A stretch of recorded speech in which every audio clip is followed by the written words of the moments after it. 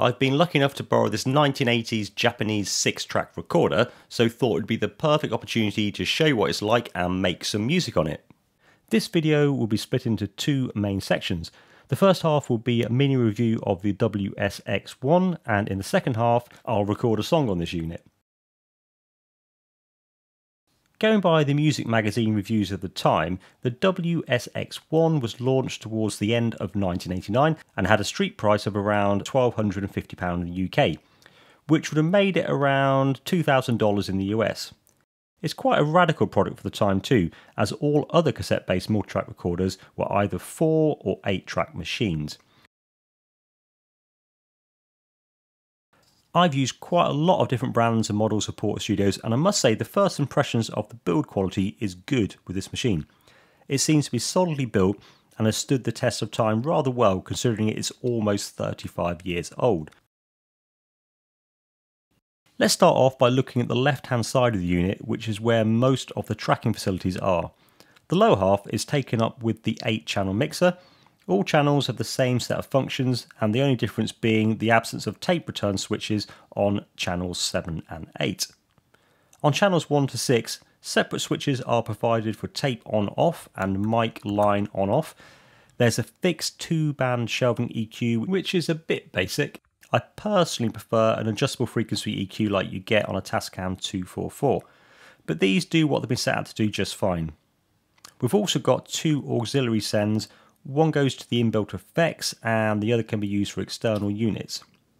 One feature I really like is the inclusion of a solo button, which makes life easier when working on separate parts of a mix. The LCD screen is also a great feature and you can swap it between displaying the individual tape tracks or stereo bus settings. Alright, on to the right hand side of the unit. We have the two sets of transport controls for deck A and B and LED screen to display the tape position. Above the transport controls is the track selection controls to assign where you're recording to and the cue mix controls to control monitoring. At the top we've got the double sized cassette lid which you open manually. Deck A is calibrated for type 2 tapes only and runs at double speed and uses Dolby C noise reduction. Deck B is the stereo mixdown machine running at conventional speed it employs either chrome or normal ferric tapes and has a choice of Dolby C or B or no noise reduction at all. The main channel inputs and headphones are handy placed on the front of the unit and everything else is around the back. This includes XLR inputs for channels 7 and 8, but sadly no phantom power. We also have 6 tape outs on phono sockets, which gives you access to a direct feed from the multi-track for utilising a more sophisticated mixer during mixdown. Alternatively, they can be used as individual sends to outboard effects, and there are plenty of options in the returns department. Three stereo pairs of phono connectors marked auxiliary can feed either input 7 and 8 or access the mix bus directly. Let's put this unit to the test and do some recording then. My band We Happy Few are going to play an acoustic version of a song we're planning to put on our next album called I Like to Dance.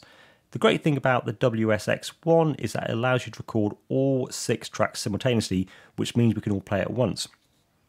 I'll use an AKG on the suitcase drum and uh, SM57 on the snare, which I'll sum together onto one tape track to save space.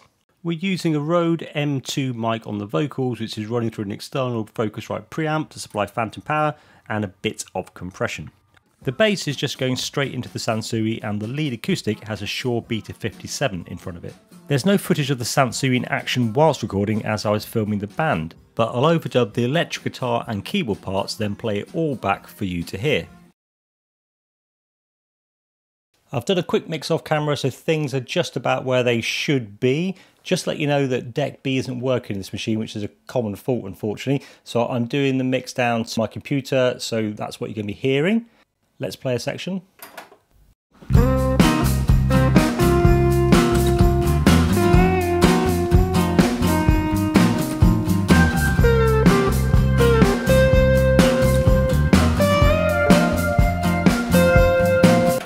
going to stop it there for a moment to solo a couple of the tracks so you can see how they sound in isolation. Let's start off by soloing the drums and playing a bit of those back.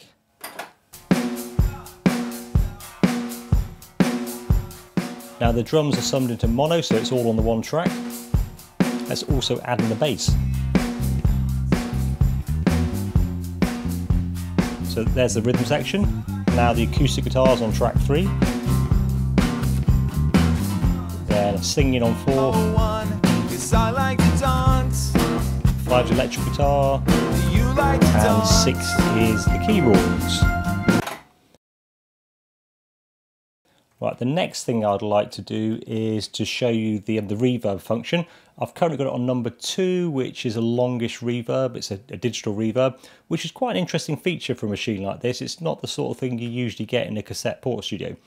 The other thing you have to bear in mind is that if you press solo, you don't get the effects coming through. So um, what I'm going to do is just pull the faders down and just keep the acoustic guitar up. Currently got the reverb about halfway up, so let's hear that. I'm going to increase the level so you can hear it more clearly. Now it's not particularly pleasant when it's that level, to me at least. I think on the mid setting it does a reasonable job though. I'm going to bring back in the vocals with the guitar now so you can hear them both with the reverb and let's have them on about 12 o'clock. Uh, what I'll also do is swap over and play the first reverb so you can see the, the short one and how that compares. When I'm having fun. Let's make it louder. I like to dance when I'm with no one. Cause I like to dance. Do you like to dance? So that was the small room reverb. So let's swap over to the third and final one and see what that sounds like.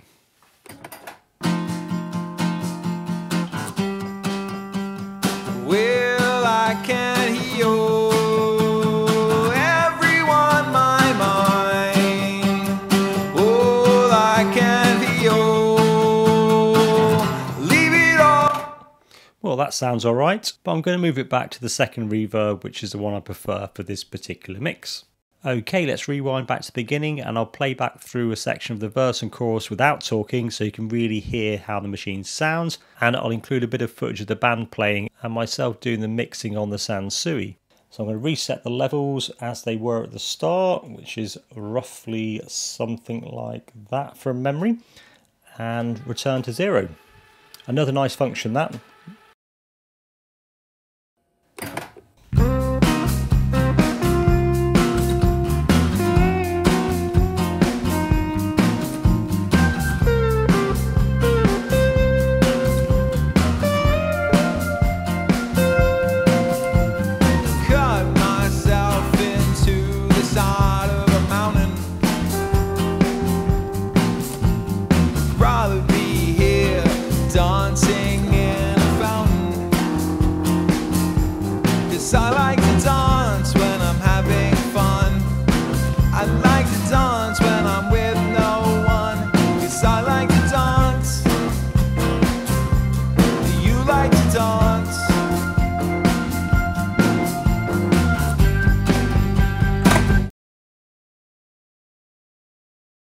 So what do you all think about the WSX1 then?